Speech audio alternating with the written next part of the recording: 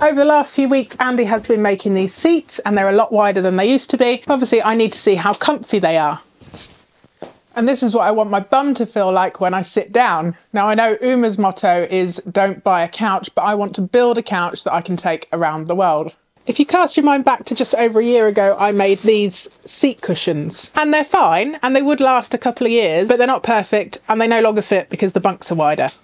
We are Andy, Melissa, Jack, and Oliver. We've spent the last few years preparing to head off sailing to every corner of the world. A few years ago, we bought this huge steel yacht as a project. But when Ollie came along, we needed a bigger boat with more cabins. So now we're working on both boats, Getting Ocean Melody ready to go getting Steel Melody ready to launch so that we can sell her. to put some much needed funds back in the kitty for when we set sail. I'm really excited to embark on this project, but I'm a bit worried. Last time was the first time I made cushions, and they were okay. But this time I want them to be professional looking. I've got piping, which I've never done before. I'm doing seamed corners, and the foam is a lot thicker. And I'm going to use a silk wrap to put the foam inside the cushions. First thing I need to do is cut my fabric and use my templates that Andy's previously made. I need to make piping to go around the edges. I need to sew in my zip, sew all the strips around the edge, and then put it all together. Craft math is my favourite kind of math. I have these left over from another project, so technically it means what I'm doing today is completely free. Reupholstering the boat is free. That's how it works in my head.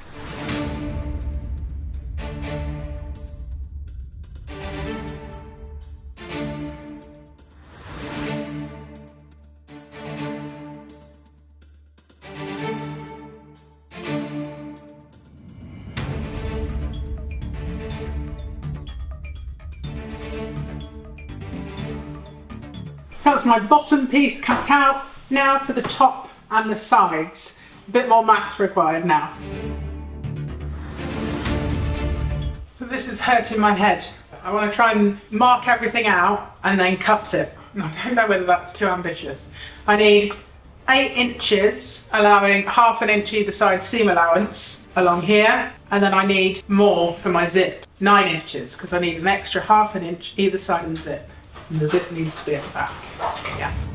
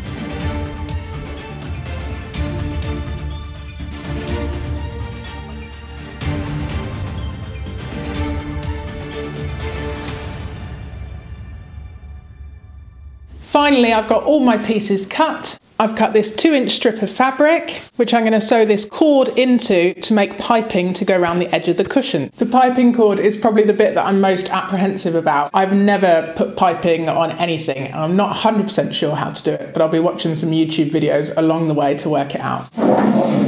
The piping cord needs to go all the way round the seat cushion, which is quite a large area. So I haven't been able to cut one long strip of fabric. So I'm just trying to work out how to join it as neatly as possible. And I've watched a few videos and I think I know how.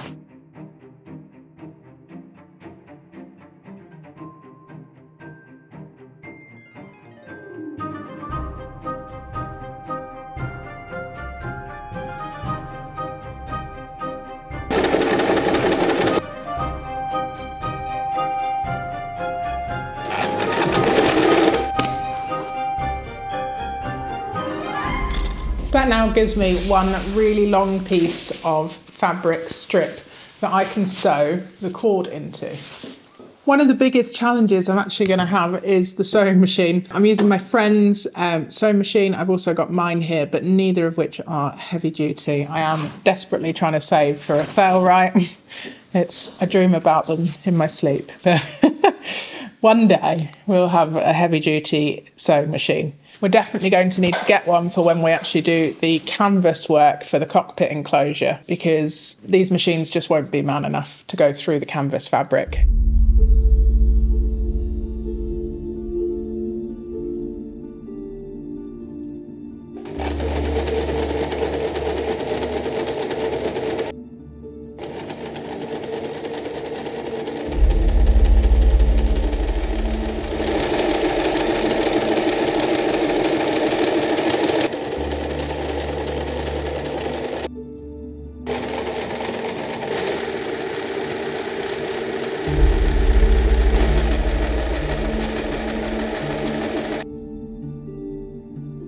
What's wrong with you?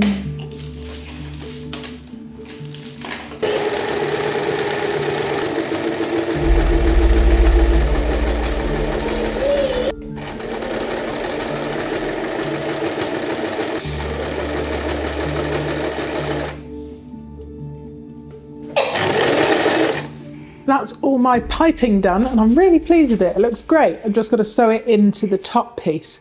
Before I do that, I need to sew in my side panels together if Ollie lets me. Are you going to let me? What do you think? Eh? What do we reckon, Ollie? Yeah, he said yes. I need to stitch these three side pieces together, the side panels. Then I need to cut this one in half and sew in the zip.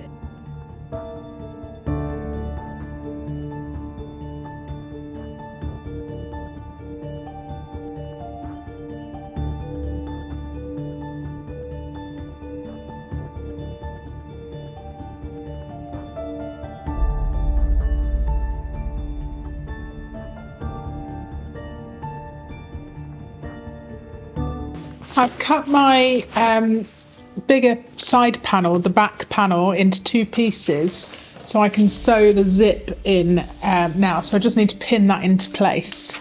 So I want the zip to almost be hidden. I don't know if you can see. I'm sewing that in there.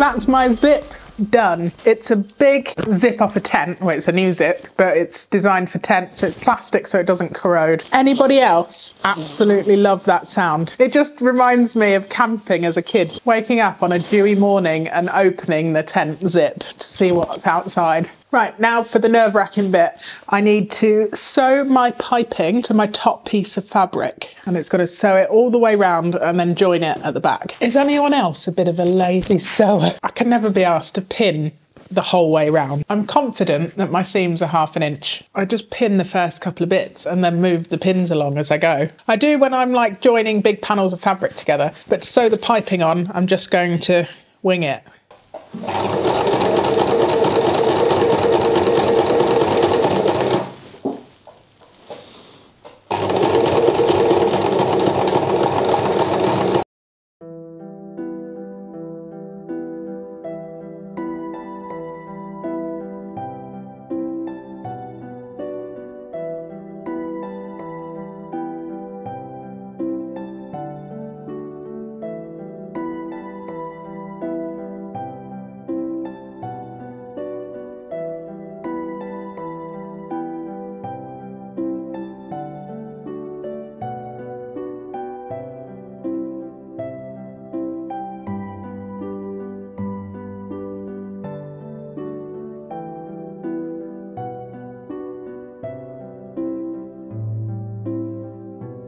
So that's my pipe corners done and I'm really pleased with how it looks. Um, I've gone all the way around and joined it at the back. Now I need to sew the side panels onto the bottom piece and then join the two together. I have a request. Anyone out there that sews cockpit enclosures or does any sort of canvas work for a living and fancies taking me under their wing for a day or two to give me some pointers before I actually do the exterior fabric work, I would love to come and join you and help you with some of your projects and learn off the back of you. Somewhere in the UK though, please. Also, while we're talking about the exterior fabric work for Ocean Melody, can anyone recommend anything other than Sunbrella that doesn't cost a fortune?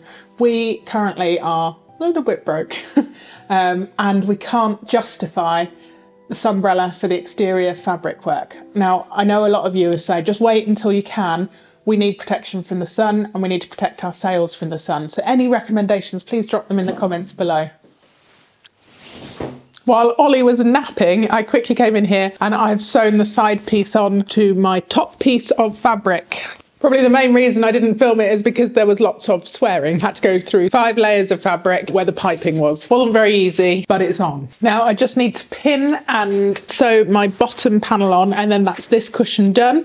And then I've just got another one to do, another one, and another one, and another one. But I won't show you all that. But for now, I'm just going to get on with pinning the bottom of this and sewing it on.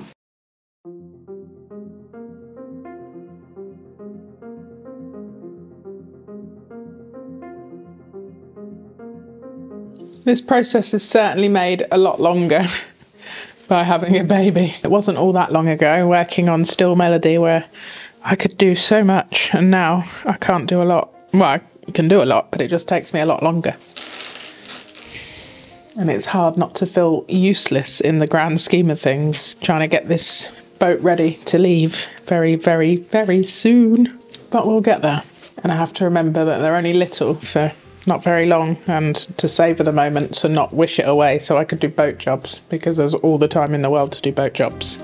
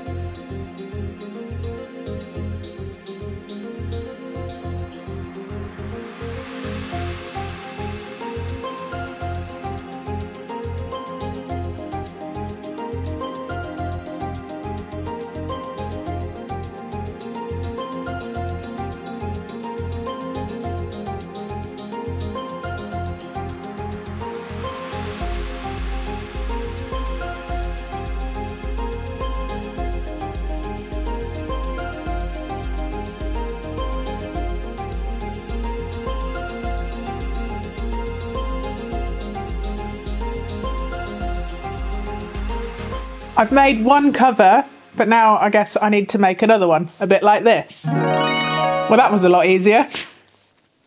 I'm really pleased with how the cushion covers are looking, but now I've got to cut the foam to fit inside the cushions and wrestle the foam in. But I have got some silk wrap that I bought to wrap the foam around, and I'm hoping that I can suck all the air out and put them in nicely. Fingers crossed they fit because the foam does need to be compressed quite a lot, so it's quite firm, but I might have to take a layer off. But you'll see in a minute.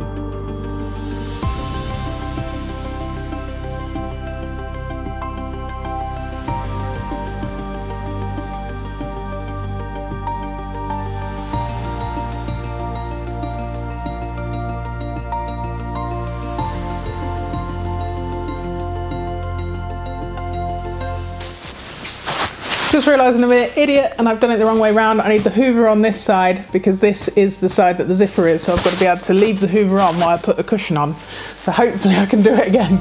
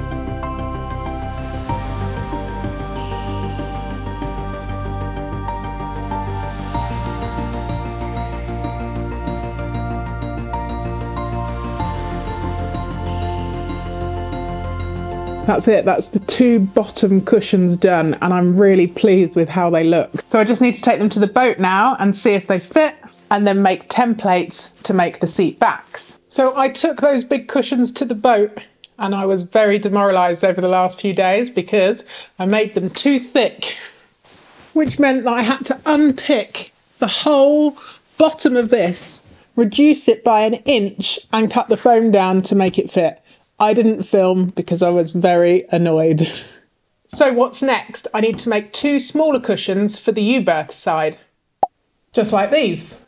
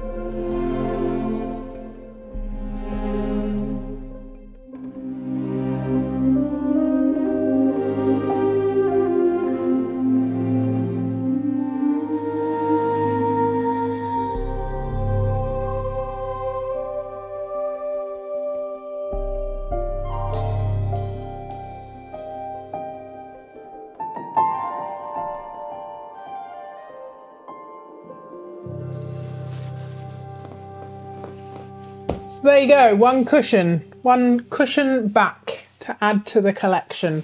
So I just need another one and then that's all the cushions made. I'm really pleased with how they're looking. Um, this second one, I haven't pulled the buttons as tight because um, I do need to buy new buttons. They're not great. Um, I need better ones that I can cover.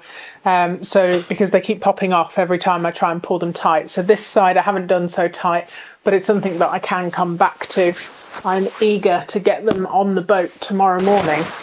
Just keep everything crossed that they fit.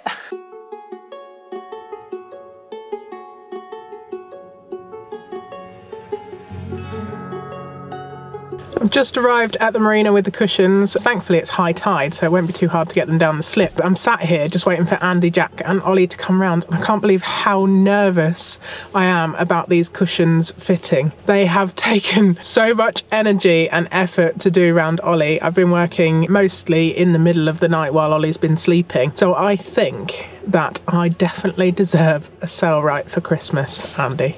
Maybe even Valentine's. I, I just I just really hope they fit because I am done with these cushions. I've got loads of other sewing projects that I'm looking forward to, but I just want to put these on and just be like, yeah, they're done. And it means that we can then go back to the boat. Me, Ollie, and Jack can go to the boat and start working again in different rooms because um, the boys can be in the saloon with comfy seats and I can be working in the aft cabin. So it's just, it will make a massive difference.